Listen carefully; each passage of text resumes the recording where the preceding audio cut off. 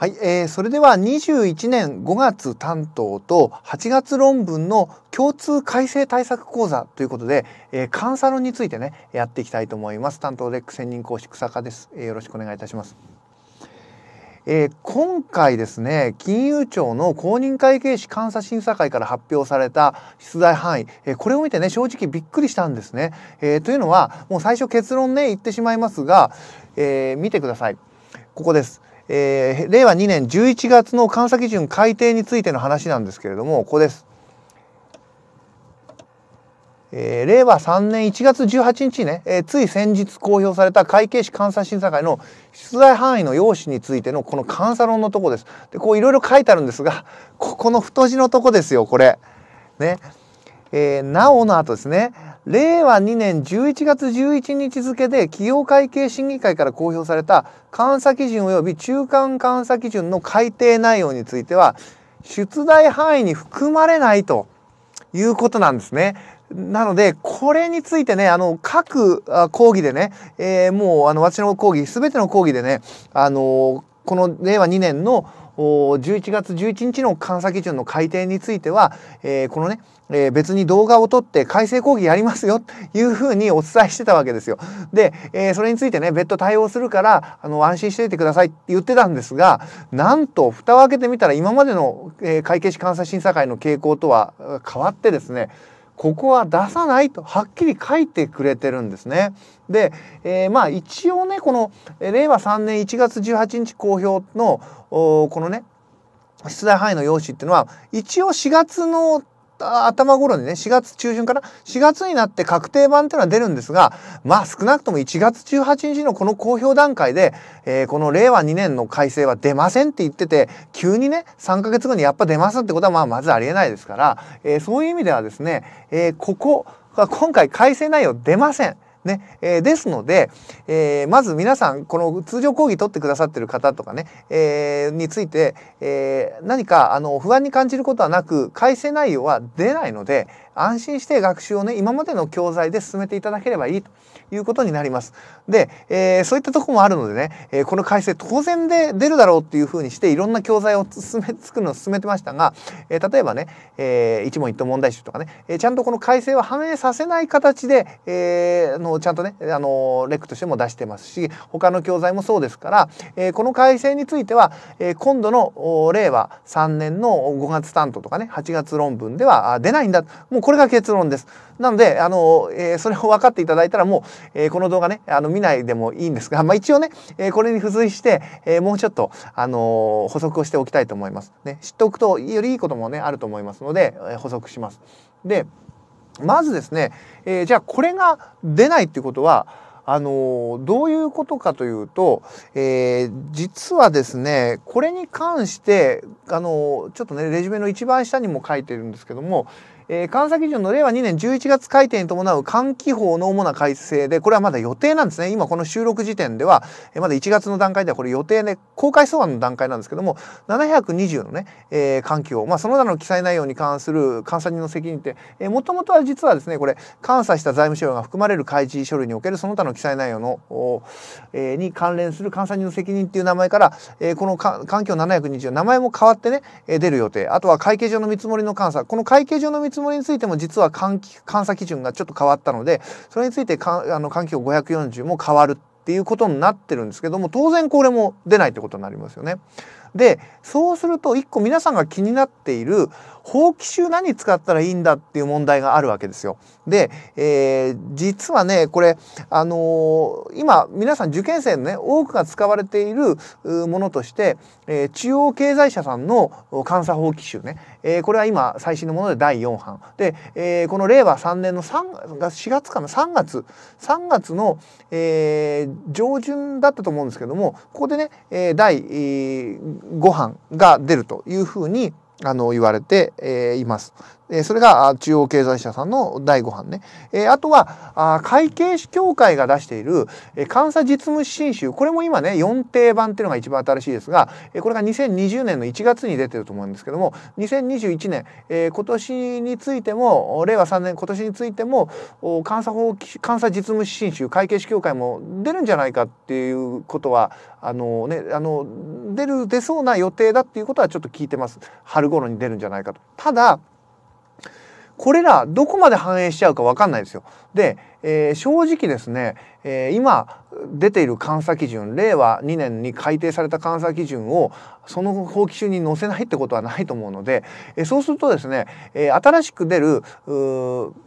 監査法規集のご第5版とかえ監査実務新集会計士協会が出している監査実務新集のご定版、ね、法規集は中央経済社さんですけどもえそれは新しい監査基準になっちゃうと思うんです。でも皆さんの試験範囲はそれは出ませんのでそういう意味ではね今出ている監査実務新集の4定版あるいはあ今出ている監査法規集の第4版っていうのがあの、まあ、購入の対象になるとは思います。今皆さんが受ける試験ね5月とか8月を考えた場合は。ただこれねあの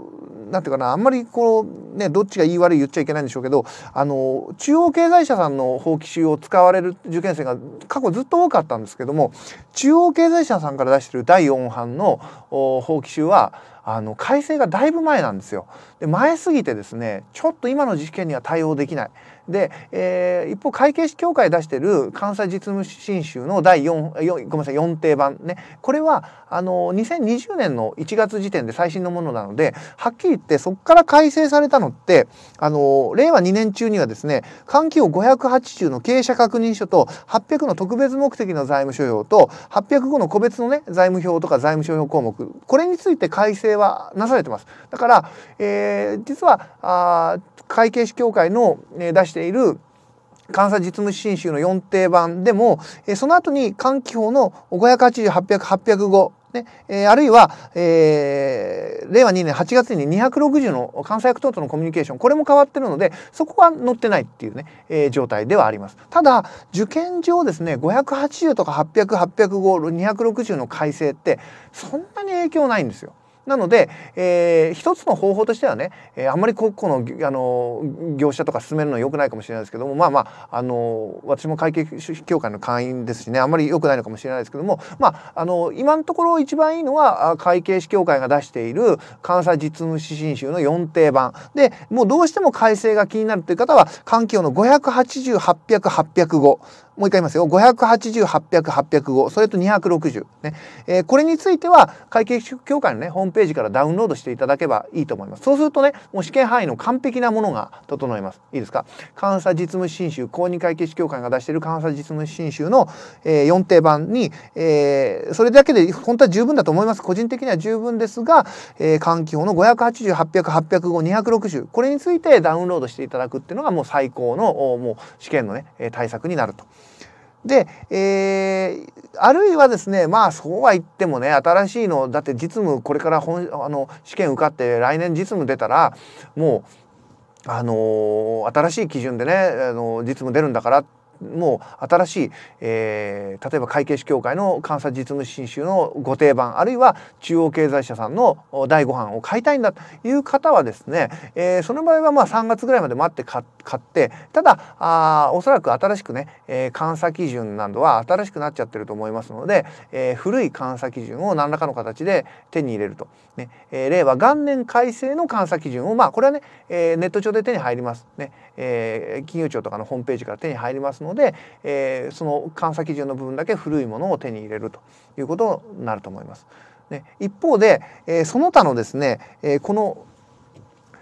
720540はこれいつ改正が確定するか分かんないのでこれがその新しいご定番とか第5版に乗ってくるかどうかも分かんないんですよ。なのでちょっとね、えー、なのでまあ皆さんには言えることは今の実務新集監査実務新集会計士協会出版の4定版は今買っても試験に対応できるということになったのでその点はお伝えしておきます。はい、まあこれがえー、一つね気になってる皆さんの気になってることですね。で、えー、じゃあこの後はねえちょっと時間あの使ってですねどんな改定がなされたのか試験には関係ないですけども試験員の先生方がそこに着目してることには間違いないのでじゃあね、え、そのそれによって今回の令和3年の試験が影響を受けるのか受けないのかっていうところをちょっとね説明していきたいと思います。で、えー、改定の概要です。レジュメにもね、えー、書いておきましたが、えー、試験範囲からは除外されたんですが、えー、改定内容としては2つあるんですね。1つはその他の記載内容に関する改定。で、もう1つはリスクアプローチの強化に関する改定っていうのがあります。で、一つこのその他の記載内容ね、これはどういうことかというと、その他の記載内容に関して監査人が実施すべき手続きを明確化すると。ねえー、とともに、えー、監査報告書にその他の記載内容の区分を設け必要な記載を求めるということで、あのー、正直なところ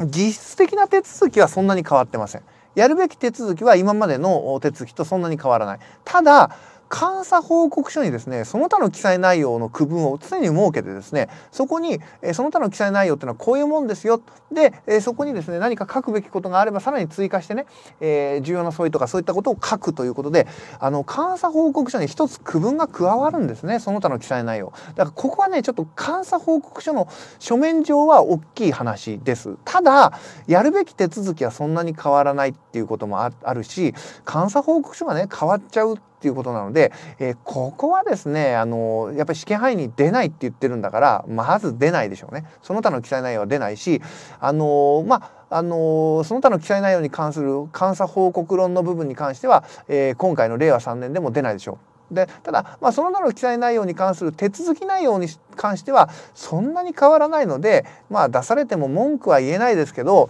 ちょっとねこのその他の記載内容がこの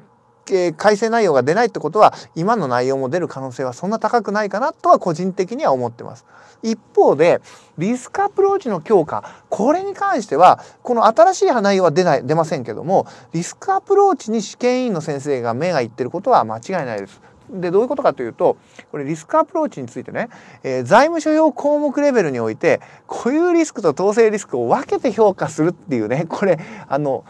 何言ってんのって思った方はねある意味これはねすごい勉強されてる方なんですよね。だって平成17年の改定でですね平成17年の改定であの事業上のリスク等を重視したねリスクアプローチの時に固有リスクと統制リスクを分けて評価することはむしろねリスク評価が形式的になるんだと。で、えー、それはですね、えー、そもそも固有リスクと統制リスクを合わせた重要な虚偽表示リスクを評価することが発見リスクを評価することにあの意味がある、まあ、むしろ発見リスクを評価することが大事なんだと監査人はね発見リスクの程度を評価してそれによって監査手続きの、まあ、種類時期範囲とかね、えー、監査手続きをどれだけあのレベルでやるかってことを決めるんだから大事なのは発見リスクの評価だと。で発見リスクの評価が大事なんであればむしろ形式的に固有リスクと統制リスクを評価するっていうことは大事じゃなくて重要な虚偽表示リスクとしてねまとめてその評価をしてその結果果あじゃああの発見リスクをどうしようかってことが大事なんであってっていうことで、え固有リスクと統制リスクは分けて評価することもできるけれども一緒に合わせて評価しましょうっていうのが平成17年の改定だったんです。それがまたここに来てですねあの固有リスクの評価が決定的に大事だと。ねえー、固有リスクの評価を徹底的にすることが特権リスクの評価にもつながってくるっていうことからですね、えー、固有リスクについては統制リスクは分けて評価しましょうねえこういうふうに基準が実は変わったんですね。まあ、皆さんの試験範囲から除外されますけども基準上は変わったと。で、えー、ただこれもあの重要な競技表示リスクにはアサーションレベルの重要な競技表示リスクと全体レベルの重要な競技表示リスクと2段階ありました。でこの全体レベルに関しては今までと変わりなくね、えー、別にあの何ら分けることなく全体レベルについてはあの重要な虚偽表示リスクとしてまとめて評価するんですけれどもアサーションレベルのね重要な虚偽表示リスクこれについて固有リスクと統制リスクを分けて評価するんだってこういうふうに変わるわけなんですね。で、えー、まあ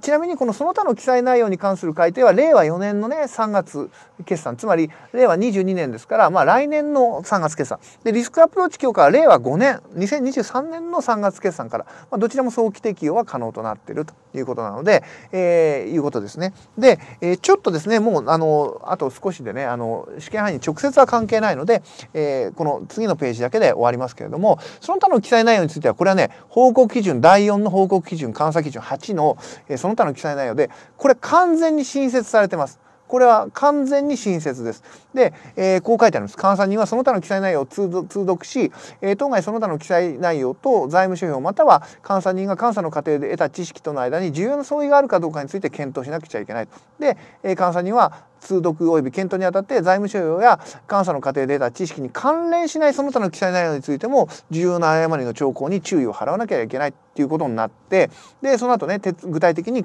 あの報告書では監査人はその他の記載内容に関してその範囲経営者及び監査役との責任監査人は意見を表明するものじゃないよ、えー、という旨監査人の責任及び報告すべき事項の有無並びに報告すべき事項がある場合にはその内容を監査報告書に記載っていうことでその他の記載内容をね区分を設けて記載することになる。いうことなんですね。ただまあ意見を表明するしない場合には書かないけどもねっていうことでこれが丸々加わっただからこの部分についてはねまあ新しい部分は当然出ないし古い部分もちょっと出しにくいかなっていうところです。で一方リスクアプローチの強化に関する監査基準の改定についてはこれはねゴシック部分太字にしてる部分が追加になったんです。つまり元々の監査基準はゴシックのない部分だけだったんです。それがこのゴシックの部分が元々の監査基準に追加された2のの監査計画の4項のこの太字のとこが追加されたんですね。つまり監査には財務諸要項目に関連した重要な虚偽表示リスクの評価にあたっては固有リスクと統制リスクを分けて評価しなくちゃいけないで固有リスクについては重要な虚偽の表示がもたらされる要因を勘案し虚偽の表示が生じる可能性と当該虚偽の表示が生じた場合の影響を組み合わせて評価しなきゃいけない。っていうことが明確になったんですね。分けて評価しかも固有リスク大事なんでね固有リスクはその虚偽表示がもたらされる要因をちゃんと勘案してそれが虚偽表示が生じる可能性とその影響これを評価するんだということなんですね。でその後の基準は全く今までと一緒。あとその後ね5項監査には虚偽の表示が生じる可能性と当該虚偽の表示が生じた場合の金額的及び質的影響の双方を考慮して固有リスクが最も高い領域に存在すると評価した場合にはそのリスクを特権リスクとして取り扱わなきゃいけないということで特権リスクっていうのは固有リスクが最も高い領域に存在すると評価した場合に存在するんだということが明確化されたんですね。まあ確かにそうなんですよ。だって、えー、統制リスクっていうのは内部統制によって発見できない可能性ですからあのねそもそも特権リスクかどうか判断するときに内部統制の影響を考慮しちゃいけないですよね。内部統制があってもなくても特権リスクかどうかってことは判断しなさいっていうことは今まで言われてたわけです。それっていうのはつまり固有リスクがと、ね、大事なんだ。だから今まで言ってたことと実績ね覆すことじゃないんですけども固有リスクが大事なんだとねそれで最も高い領域に特権リスクがあるんだと。まあだったらね特権リスクちゃんと把握するんだったら固有リスクと統制リスク分けなきゃいけないよねこういう改正なんですね。はい、あとは、えー、このね、えー、3の監査の実施のところで、まあ、あの会計上の見積もりに,、ねえー、について、えー監査人は会計上の見積もりをね、えー、合理性を判断するために、えー、経営者が行った見積もりの方法、まあ、経営者が採用した手法及び並びにそれらに用いられた過程及びデータを含むの評価っていうことで、あのー、まあ、会計上の見積もりの合理性を判断するために経営者が行った見積もりの方法の評価っていう今まではこの太字がなかったんですけれども見積もりの方法の評価っていう具体的に経営者が採用した手法とか、えー、過程データを含みますよってことが監査基準にも盛り込まれたね、もともと環境の540の会計上の見積もりの監査には、えー、これらのねようなことは入ってたんですが監査基準では見積もりの方法とだけねシンプルに書いてあったのでちゃんとですねここで、えー、経営者が採用した手法とか、えー、家庭データこれらもね含みますよとね、えー、いうことが、まあ、明確化されたということになります。はい、えー、なのでまあ、ちょっとね、えー、ここの部分も変わったということは知っときつつ、まあ、あ会計上の見積もりっていうのもねもともと環境540があのこれらのこと書いてあるのでやっぱ会計上の見積もりもあの試験員の先生ね頭あのそちらにねあの、えー、気になってるところでありますので、えー、会計上の見積もりも普通に出ると思いますしリスク評価もですねこのリスク評価の方法が変わるとはいえども特権リスクに関する考え方とか何ら変わってないので個人的にはですね特権リスクについてとかっていうのは結構ね試験対策上あの非常に重要かなもちろん今までのリスクアプローチの考え方も根底は変わってないのでやっぱりですねまあこの毎年ねリスクアプローチについては大問で1問ドーンと出たこともあるし去年のね本試験でもリスクアプローチをね元に事例問題に出てたりしてリスクアプローチっていうのはあのもう継続的に出てますが今回もやっぱりですねリスクアプローチ大事だし特に特権リスクなんかというのはね、えー、前と変わらず出題可能性は高いむしろ試験員の先生はそちらに意識がいってるんじゃないかなというふうには思うので、まあ、今回の改正をね踏まえて、まあ、リスクのところに関してはしっかりとね、えー、リスクアプローチ、え、関連はしっかりと勉強しておいていただきたいというふうに思います。ねえー、ということで、まあ、改正内容は試験に入らないけれどもやっぱりリスクアプローチのところはね、えー、重要性は増しているので、えー、昔のね新しい令和2年の基準はあ知らなくていいですけども一応まあ今回ちょっと扱っちゃいましたけどもあのしっかり覚えなくては全然いいので、えー、ただね、えー、そのリスクアプローチについての考え方今一度復習してください。はい、えー、それではね、えー、これであの今回は改正が入らないということをねアナウンスするための講義でした。はい、えー、それでは21年2021年の5月担当8月論文共通改正対策講座会社範囲は入りませんよということね講座、えー、これで終わりにしたいと思います。どうも皆さんお疲れ様でした。